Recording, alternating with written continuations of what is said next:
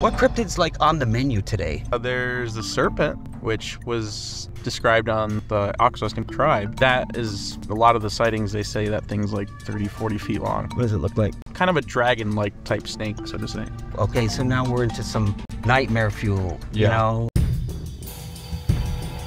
between 12 and 4 a.m., this whole area becomes filled with ghosts and cryptids. It's like a night at the museum, but like in paranormal world.